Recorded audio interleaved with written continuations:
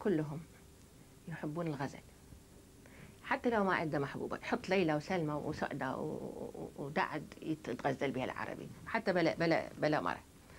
فالغزل هو يقول الشريف الرضي عن حصانه يقول مرهف للصوت إذنه الحصان مرهف للصوت تحسبه بدويا يعشق عربيا يعشق الغزلة الحصانة جميل. فإذا المودة هي أصلا الأشياء الشائعة اللي يحبوها العرب لو هجاء لو غزل.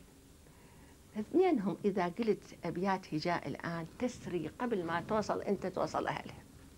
والغزل هو المنقول والباقي